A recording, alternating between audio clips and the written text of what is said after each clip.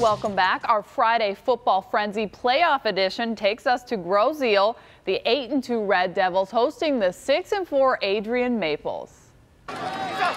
Grosse Ile on the board first. First quarter, QB Josh Shepard drops back, throws it downfield. Josh Moskal turns back for the ball. Touchdown, Red Devils. The Maples respond late in the second. Tyler Shepard finds Ty Peck in stride for the 13 yard touchdown pass. The teams go into the half tied at seven. In the second half, Maples go up by a touchdown, but the Red Devils respond with two straight TDs. This is the second. Shepard drops back, buys time, scrambles. Looks like number three, Jacob Reeves, is open. Instead, he goes to Luke Harwood, number seven, in the back of the end zone. Grosse leads 2014 with eight minutes to go.